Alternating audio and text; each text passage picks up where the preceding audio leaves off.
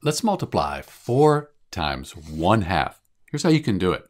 First off, you could just think of it as 4 1 halves. Just add 1 half together 4 times, like this. So we have 4 1 halves. 1, 2, 3, 4. We add them together. With fractions, when you're adding fractions with the same denominator, you just bring the denominator across, add the numerators. 1 plus 1 plus 1 plus 1, that's 4. And 4 over 2, that equals 2. So in answer to our question, 4 times 1 half, that equals 2. There's another way to do it. Might be a bit easier.